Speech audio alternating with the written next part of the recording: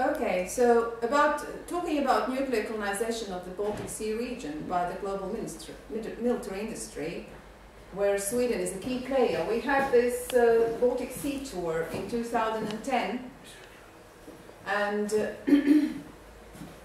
that's when we declared Swedish Parliament decision illegal.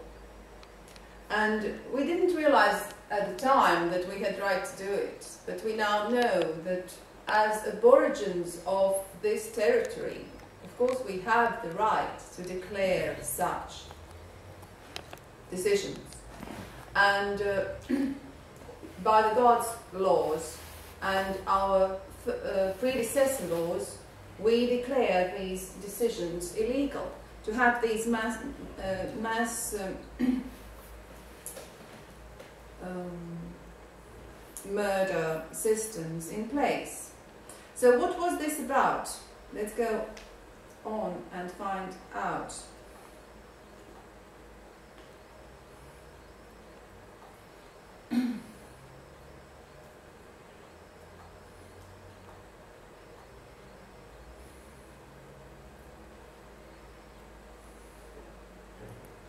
This was about Swedish Parliament, who made on the 17th of June 2010 a decision without um, having these questions of nuclear in the election campaign at all. They made a decision and overturned the democratic decision of the people of Sweden taken in 1980 to um, dismantle all nuclear power. But Swedish Parliament overturned that decision and said that they will not dismantle it. And, and we um, declared that decision of Swedish Parliament illegal. Anyway, talking further on the subject,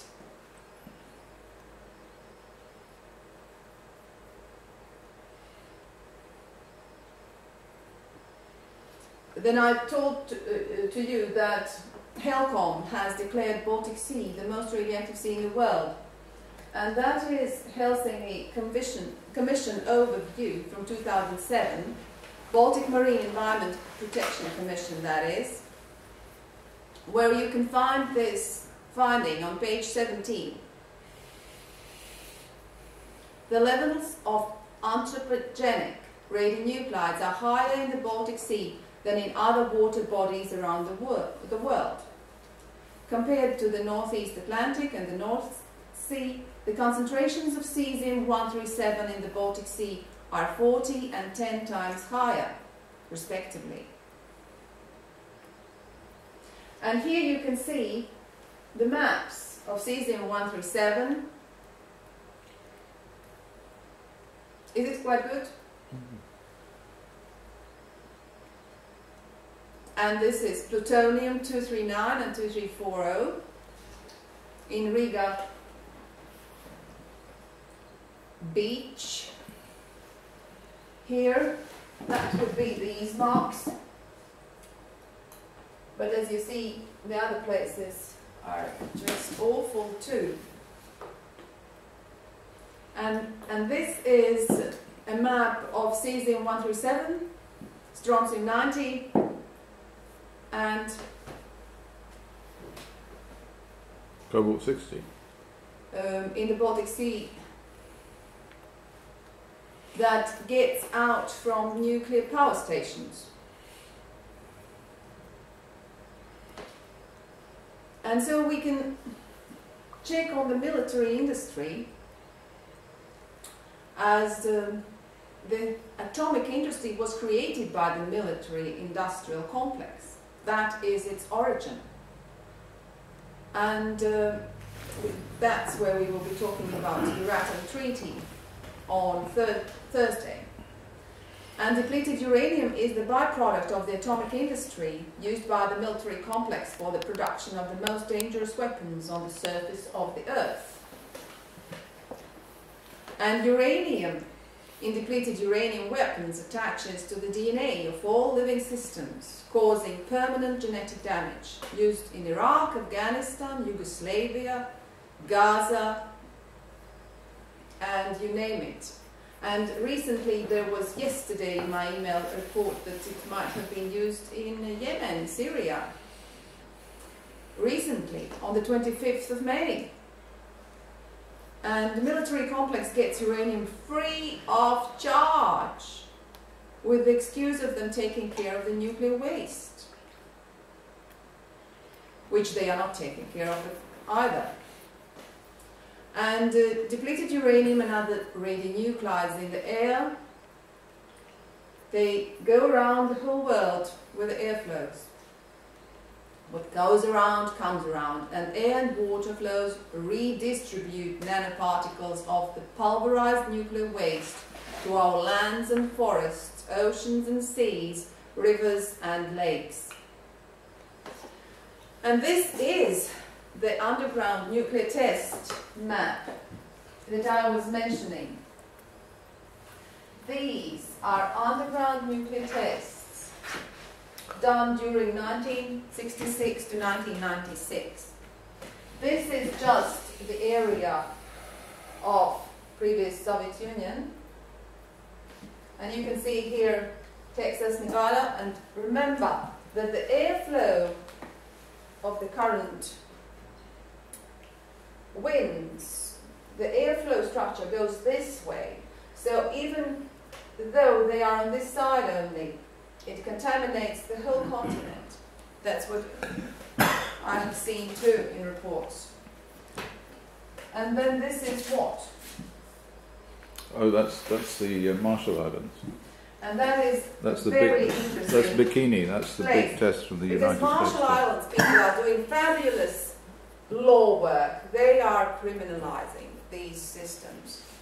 They, they are the brave people who are putting change. They have criminalized United States and they have criminalized all nine nuclear weapon countries to United Nations. That we will take on Thursday. And what is this? Um, Um, that is can't s- can't really see where that is. So That- for that that, you have to go to that's- this link. Yeah, to find that, you have to go to this link, and there you can have the full report That, um, of these tests. oh no, that's that's that's just the United States to come, come in on the other side. That's what that is, isn't there? There's nothing else up there. Yeah, could be. That's Nevada. But, um, that's Nevada test site. Los Alamos, one of those. Hmm. Doesn't seem so. No, it's the wrong latitude, isn't it? I don't know what it is then. Yeah, it's wrong latitude for that. Yeah, Nevertheless, it's in the middle of the Pacific Ocean. to find the document, you go to the bsrrw.org where you will find the links. if you can't find it, but you can Google it too. You see. That's just off the coast of Alaska, isn't it? Or, or Washington. Mm. And this, th- that was the map that sort of turned me into ra- uh, radiation area to, to start working with it. Because I was just thinking, God gracious, look at this, look at this, and that is sort of peaceful atom. In the times of peace, they have destroyed the whole frigging continent. It's all sort of uh, uranium. It is, it's I don't understand that map. I mean, the, the, a lot of those sites, I don't have no idea what, what, what's going on there. Yeah, you should study this document. And uh, uh, it's sort of, they have been doing um, under the surface explosion, atomic explosions. I mean, all of that, that's the Caspian Sea area. That's just north of, that's Georgia, That is Kazakhstan, is it? of course, yeah. But uh, No, but look at it, it's peaceful times. And, and you have this, See, this? Yeah, you, you have to go and study this report. Doesn't make sense. It has every explosion and time and amount of, of radionuclides, uh, amount of radioactive substance in, the bomb. But um, these elements, uranium, the, the halvation uh, time of uranium is billions of years. 4.7 times 10 to the 9. Billions of years, yeah. So, so this land is contaminated forever, and the underground waters and everything. You see, this is such a criminal behavior, it's beyond words. It has never occurred on, in the history of planet, anything like this. So, that's why I'm talking not only about criminalizing nuclear war, but nuclear war systems, ongoing systems that we have in place, even in so-called times of peace now.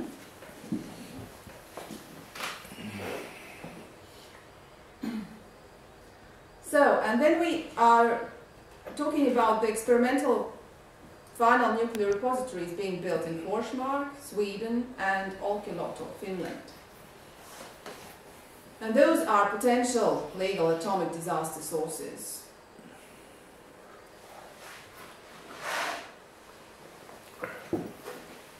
And they look like this. Look at this. Isn't that nice? This is the Baltic Sea. And this is Forsmark's plan. And there are many, many six meter long canisters placed in one row here. This one little row is full of many, many six meter long and uh, approximately one meter wide nuclear, intensive, nu- the high level nuclear waste filled copper canisters. That's their plan. And they have when, you, when we have scrutinized, we have been scrutinizing their plan in all and following uh, the process in Sweden, as I have lived in, in Sweden for 20 years. So we have been following the process of uh, as uh, non-governmental organizations in their proceedings, public proceedings of building these nuclear waste cemeteries. And uh, we know, we have really had experts on all levels of security system in place, promised to be. And none of these security levels are functional. They are, none of them are safe. No, no the copper canister that can uh, be eroded already in 100 years. And um, of course, not even transportation into the tunnel, through the tunnels, that's not safe because while they will be putting in the nuclear waste, they will be still exploding pieces to enlarge the other parts. So through the, these little transportations, there will be going explosives and nuclear waste. And furthermore, but I will not go more into these troubles, but this is Olkiluoto, to Finland. That's on the other um, on other coast in uh, Finland, where they are pre- preparing nuclear waste cemeteries as well.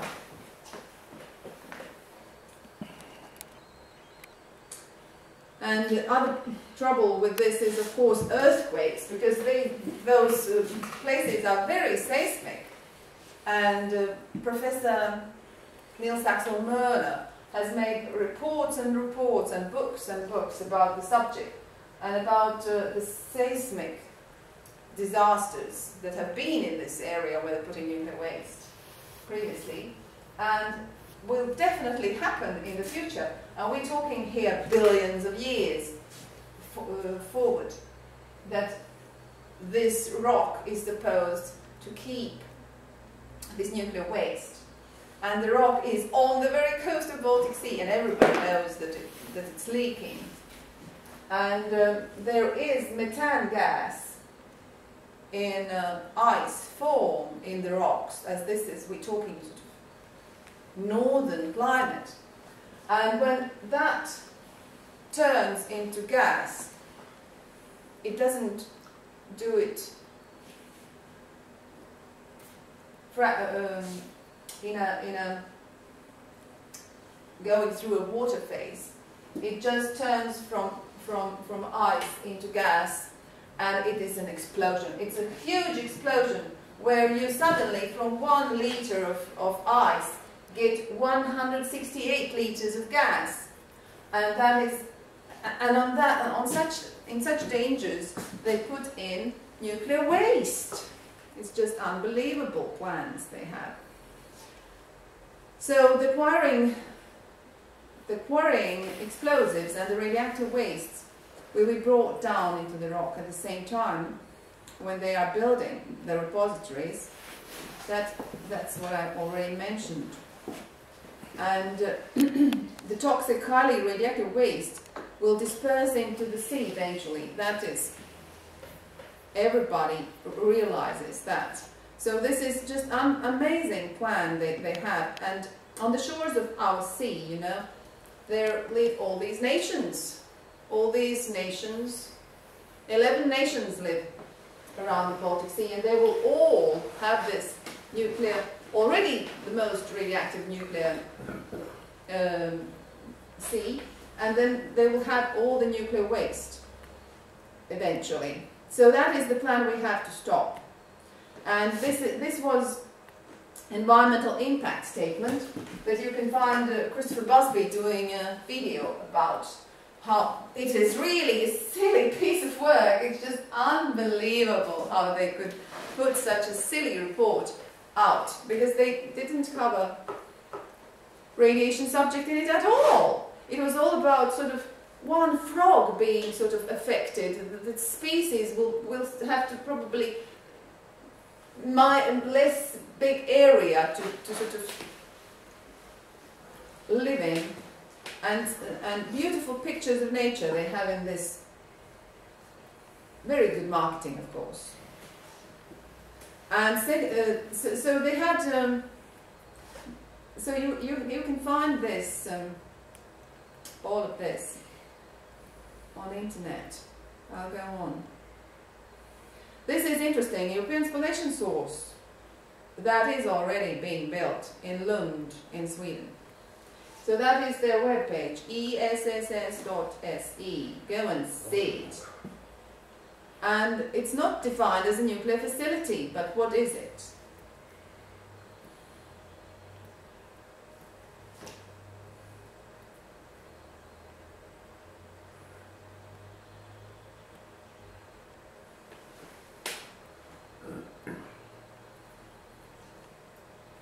It will be the world's largest and most modern neutron scattering facility.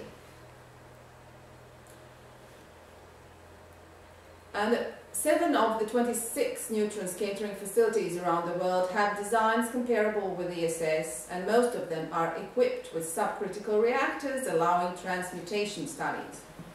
So what are we talking about? We're talking about a research facility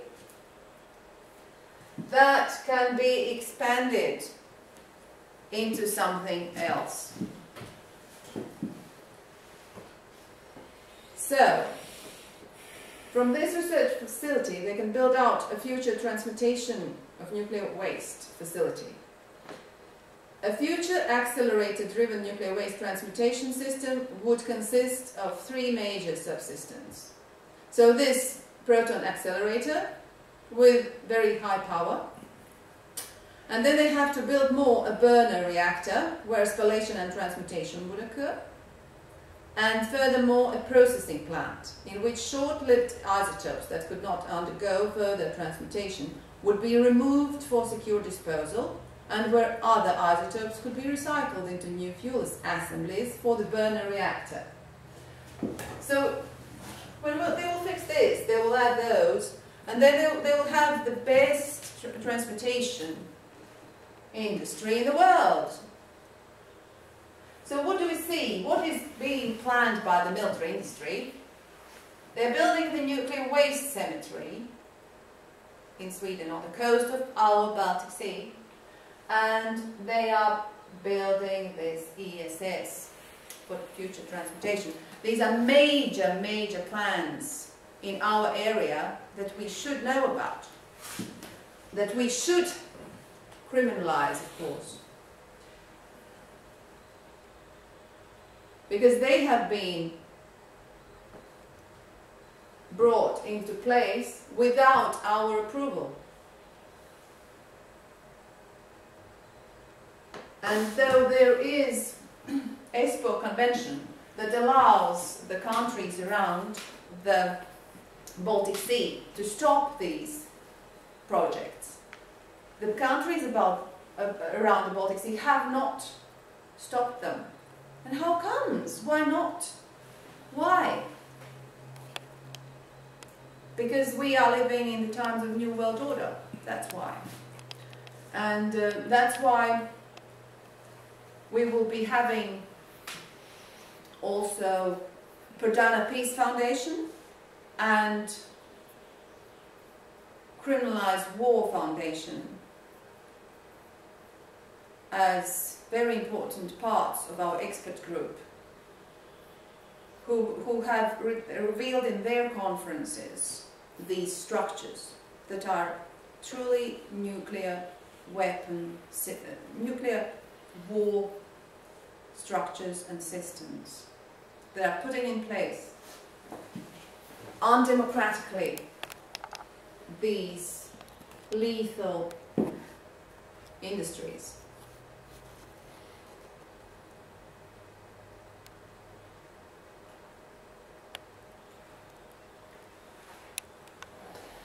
And about science, talking about science, talking about neutral societies of scientists.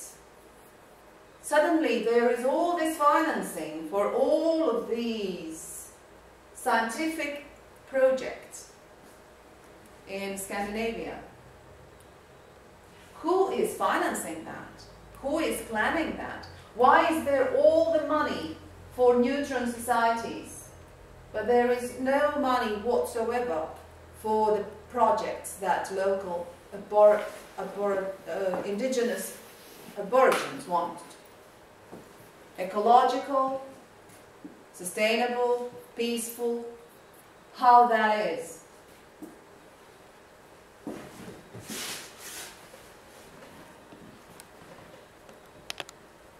And don't you forget that Sweden is among the world's very top arm exporters in per capita terms.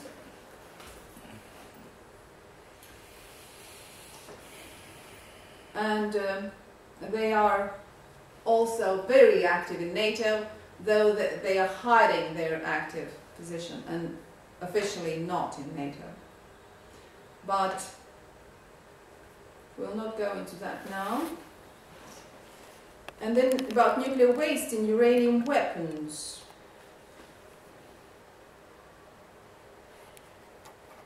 Despite what Swedish and global nuclear industry tells us or plans without telling, Swedish and Finnish nuclear waste is the byproduct contributing to further proliferation of nuclear weapons materials, uranium weapons causing permanent genetic damage around the world.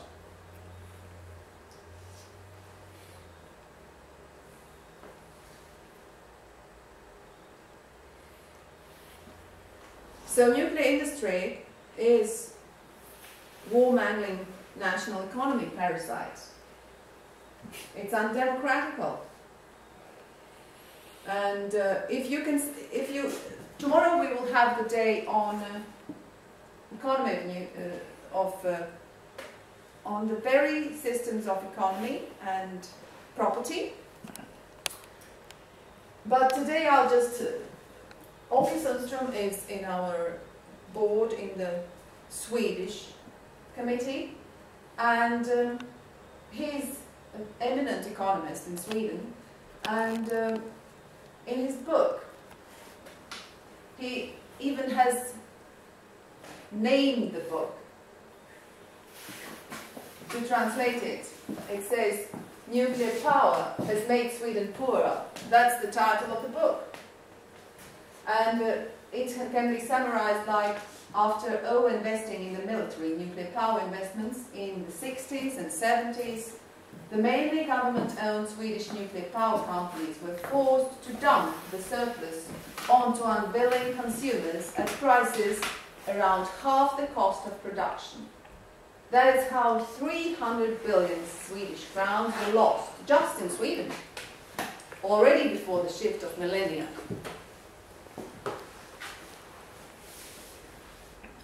and these are the Espoo Conventions and the our Protocol, the Euratom and Lisbon treaties that all this is based on. You can find all these materials on our webpage. And this is the Euratom problem, problem yeah? The Euratom community is responsible for promoting nuclear research in the member states, facilitating investments necessary for development of, nu of nuclear energy, and exercising the rights to ownership of nuclear materials. The whole European Union project was started by Euratom Treaty. And now they have the ownership of all the minerals of the whole European Union.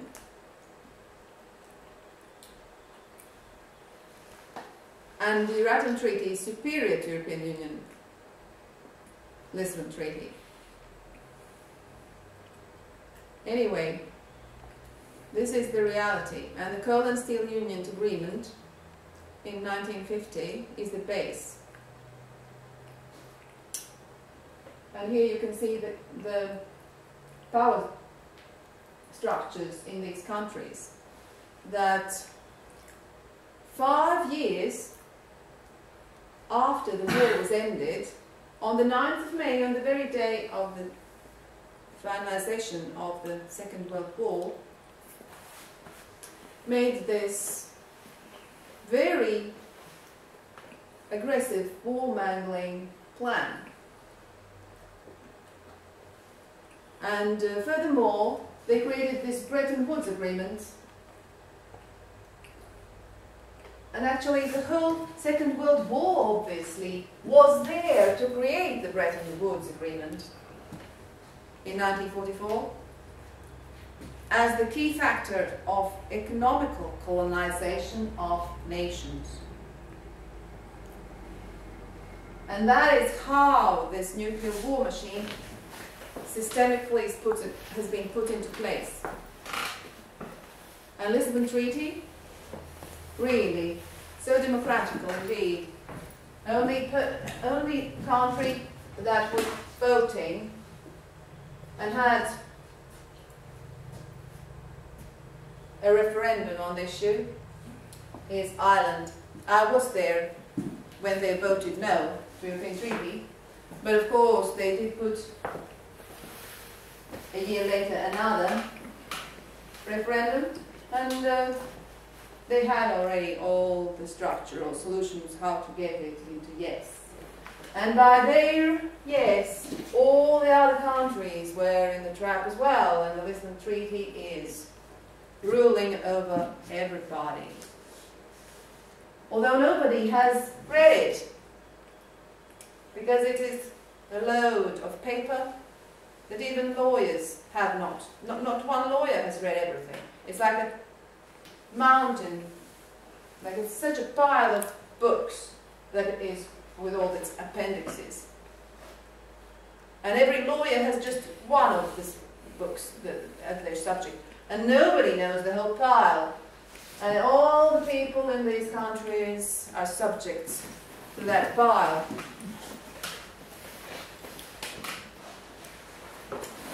But on, on Friday, we will solve the issue how we will put in a scientific solution to bring it all to the resource-based economy.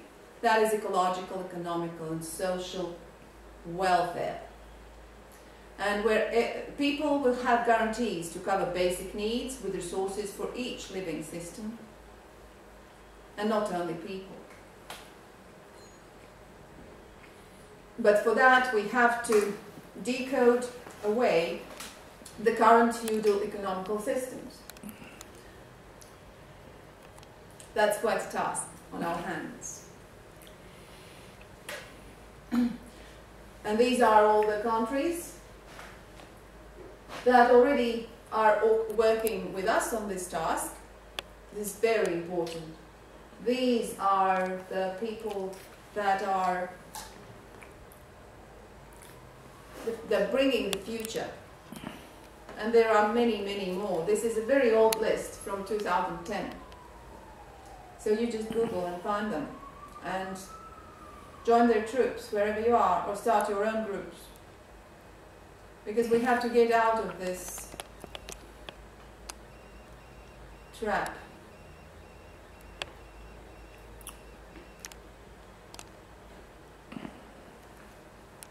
So on Friday we were talking how to get from pyramidal hierarchy to the natural sun system structure. That is ecological, economically, socially protective.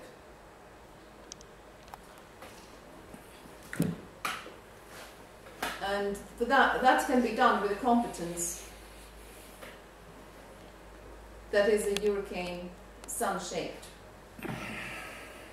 with developable geographical competence maps. That look like that. And you can find the information on this webpage, Baltic Sea Region Radioactivity Watch. That was that. Thanks for that part of the presentation.